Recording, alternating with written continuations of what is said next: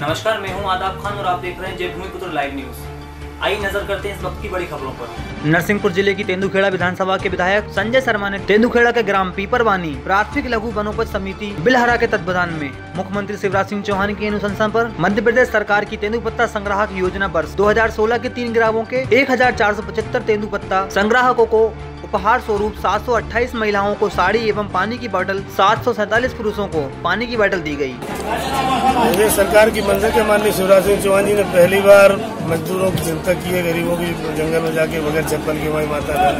तनु पत्ता तोड़ते के लिए अच्छी चप्पल, जूता, वाटर बैग और सारी व्यवस्था की है। वास्तव में ये बहुत अनूठा कार्य है, पहले से होना चाहिए था, लेकिन नहीं हुआ। माननीय मुख्यमंत्री की बात आई, उन्होंने देखा कि बहुत आवश्यक है गाँव के लोगों को कई बार अभाव के कारण गाँव दुकान न होने के कारण लोग बगैर जूते चप्पल के जंगल चले जाते इसी ने यूनिवर्सिटी। बर्मान से शैलेश शर्मा की रिपोर्ट।